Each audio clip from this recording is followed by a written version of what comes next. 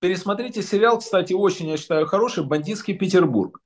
Он же о чем? Он о времени, когда Путин руководил этой братвой в Питере. Там же ничего нового. Это же о Путине и его времени фильм.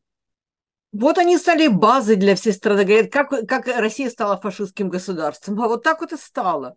А вот так и стало при помощи товарища Собчака, который был давним агентом КГБ, его подельника Путина, Миллера и вся, вся же эта братва сегодня Наташа, России. Проблема не в Собчаке, Миллере, Путине или Сечине или ком-то еще. Проблема в рабском, покорном, бесноватом русском народе, который будет нести полную моральную, историческую и прочую ответственность за то, что они натворили в Украине.